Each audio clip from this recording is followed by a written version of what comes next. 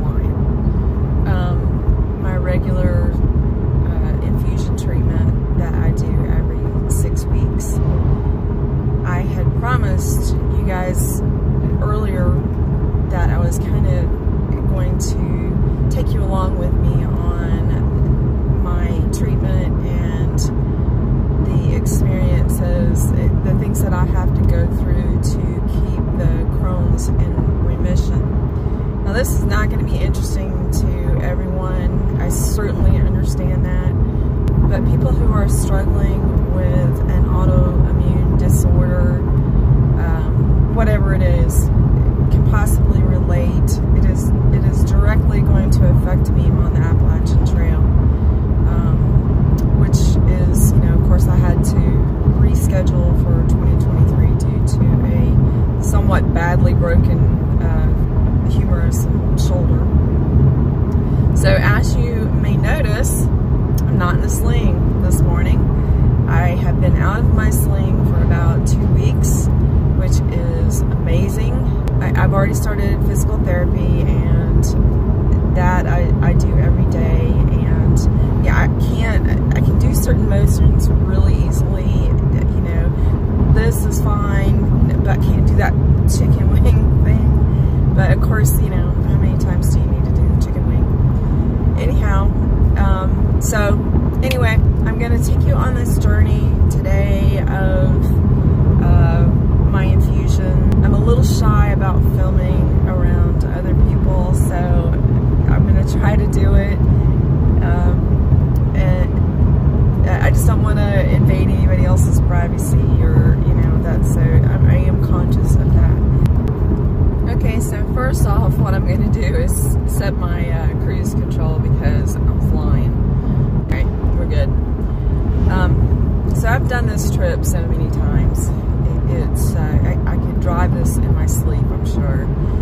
I do things now to uh, try to make it more interesting for me. I actually don't dread it anymore. I actually look forward to it, strangely enough. The only thing I don't look forward to is the IV. Uh, I, I, don't have good veins anymore because of all the treatments I've had, and a lot of times uh, they have trouble finding a vein. Uh, if I get my my normal nurse, then is very good, and she, she kind of knows where she can stick me and uh, get a good vein. Lucky enough to get to go through the country on this trip. First of all, I don't get that rush hour traffic when I'm traveling towards Chapel Hill. And I also get the country. I get, you know, you, you never know what you're, you're going to see. It's uh, it's always interesting. Sometimes I see turkeys. Uh, sometimes I, I have seen a coyote uh, and deer. And, and it's just, it's usually just beautiful. And this morning was really beautiful. So I have my snacks with me. Um, and I have my iced coffee this morning. Now, like I said, I do this every six weeks, and that is the one thing that is really, uh, well, not just the one thing. Um, this treatment is extremely important for keeping the Crohn's in remission, or at least somewhat in remission. I have been through the other treatments where I got medicine in the mail, you know, refrigerated, and I gave myself injections. But unfortunately, my body uh, built up antibodies to this, and so I, I, had to keep going stronger and stronger.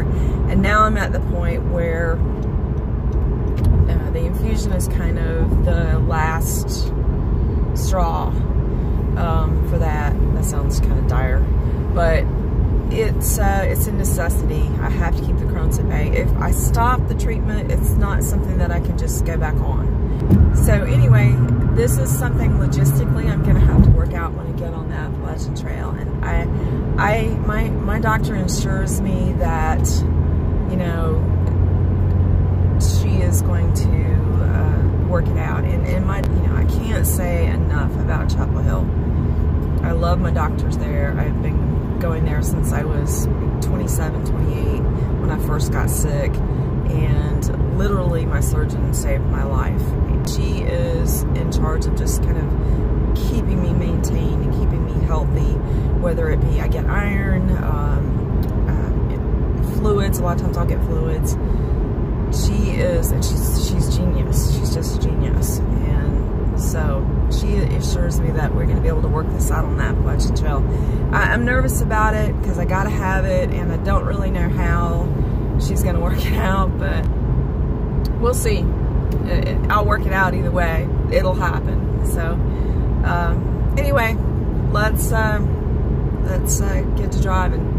I need to pay attention a little bit more and I'll talk to you guys soon. So, so usually when I'm there, um, I after I have my infusion, I may go to the aquarium shop and see if they've got any new freshwater shrimp in or interesting plants or if I need any supplies because I don't have access to supplies uh, where I live. We're, we're, so remote. There's just no good aquarium stores really uh, close by.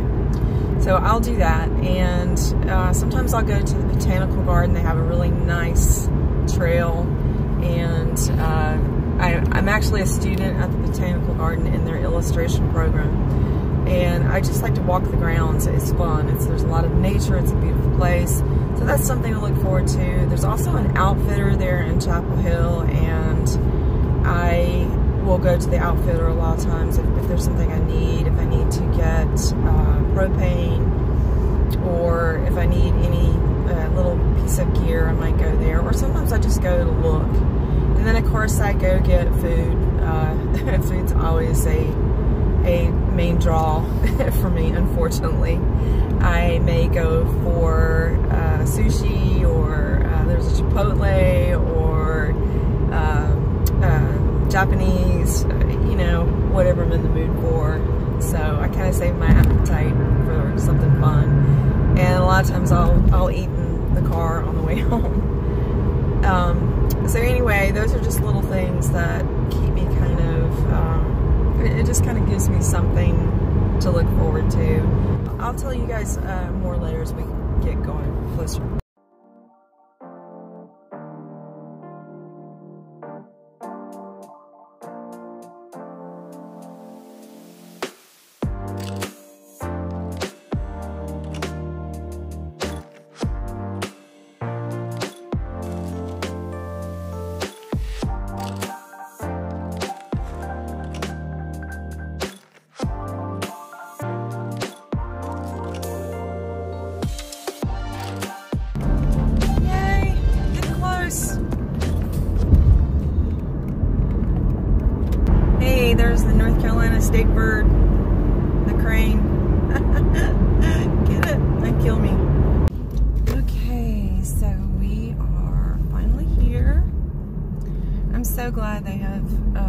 Started doing infusions over here at this new location because used to they would do it at the hospital and it's a teaching hospital and it's on the campus of UNC Chapel Hill and it's crazy busy and it's very hard to find parking. It's a logistical nightmare. So this is so much better, even though it gets pretty crammed in here because it's a pretty busy little location.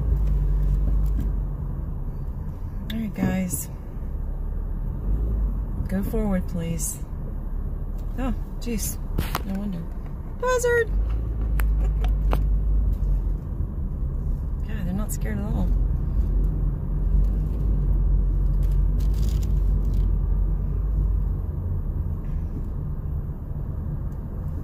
Ooh. It's like they've got a food truck today. Cool.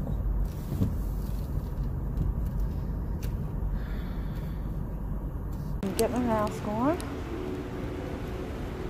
Hopefully.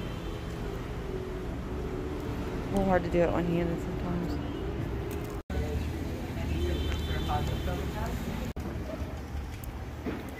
Gonna work with your. I don't know. Um, Yeah. Dr. Long has, in you know, assured me that they'll figure something out. Okay. She, Well, that's good that she's willing to work with you. yeah, she is. something She's out. great. You So can still live life. Today, Yeah. check all those uh, vitamin levels, and Yep. it's so easy for me to get depleted. Mm-hmm. I'm sure.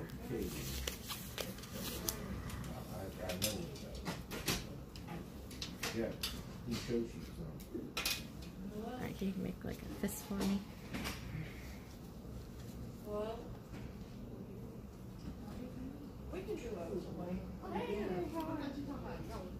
No, I didn't know if, uh, like if you had weighed yourself. No, no,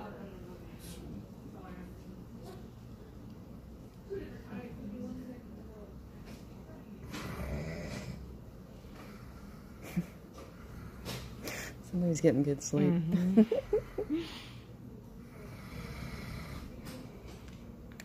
I'm a little hard sometimes. Sorry. No, I'm sorry.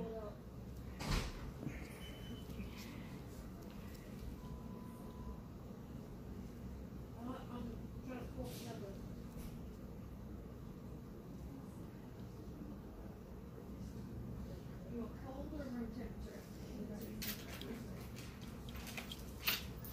We're gonna go to this chair right here.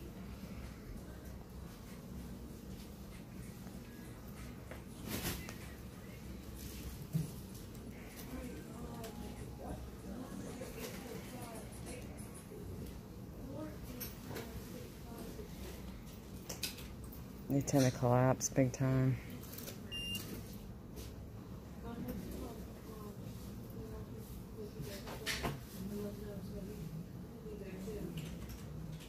you been on any antibiotics anything in the last week or so?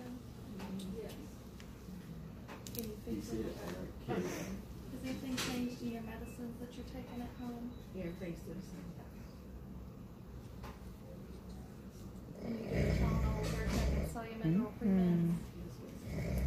Good job. Thanks. Sorry about the fishing. It was just like your where your yeah, knuckle I was. know. It's like See if we can get blood though. There you go, man. Good question. I wish I could sleep like that. Man.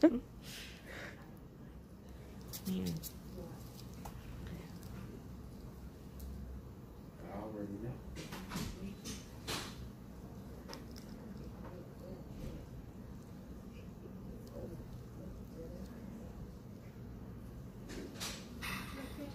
Hold your mouth just right.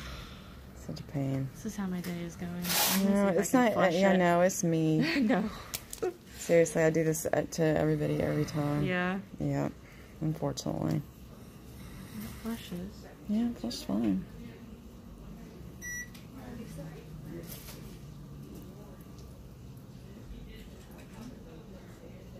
Mm, feels great. Yeah. I can taste it. That's always a good sign, Yeah, that is right? a good sign.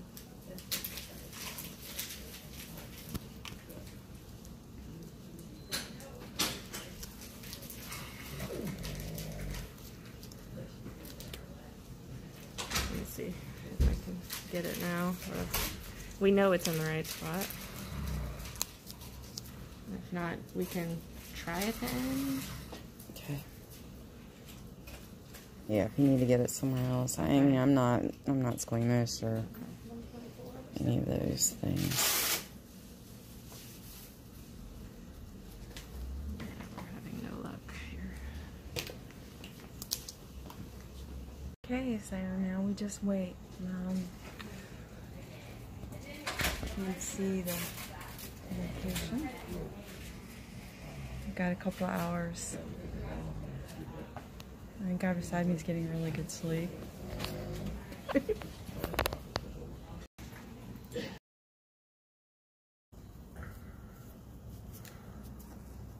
Hey guys, all done. Just got back to the car. Um, let's see what time it is. It's about 2 o'clock, so I got here at 11. Um, that's about normal for what it takes for the infusion. Uh, they had trouble uh, getting my veins. I'm, I, stay dehydrated, so that is really going to be a huge issue on the trail, especially when it starts getting really warm. Because uh, I really have trouble staying hydrated, and I hate drinking water. That I'm really going to struggle with. But anyway, it, it's done, all good. I'm going to go uh, mess around a little bit now. Uh, that I'm in the big city. The shrimp.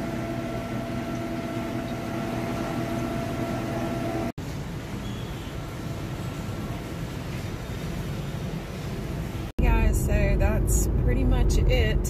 Um, not terribly exciting, I, I know, but it is a part of my life and it is something that I'm going to have to deal with while I'm out on the Appalachian Trail. So um, I wanted to put it out there and you know let people see that there's other people you know going through stuff like they are and but they're still you know going to get out there and and live their life and definitely that's that's my plan and I hope maybe it gives somebody a little bit of encouragement.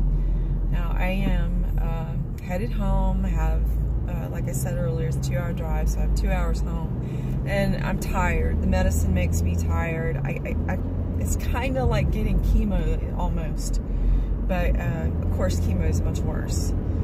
But it does make me tired and does give me a pretty decent headache. So, um, but I have stopped and gotten an iced coffee, and that will print me up a little bit. So that's pretty much it. If you have any questions, you know, please drop the questions below in the comments. I'd be glad to answer them any way I can. If you have any questions about Crohn's or Remicade or infusions or or anything else, you know, I'll uh, try to answer those. And uh, as always, thank you guys for being such great support. A big hike tomorrow.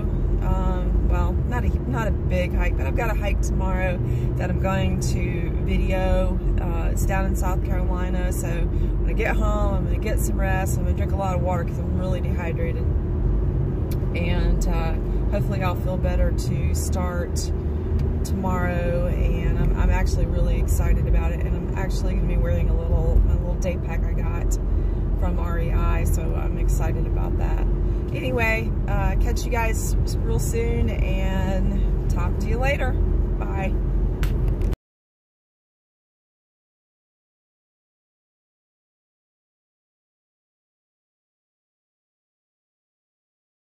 Okay, so this is the following morning. It's about 7 o'clock and I am in the ER. Apparently very dehydrated and started having problems last night. So just, um, this is what I sometimes go through. And I'm having abdominal pain and they're giving me fluids.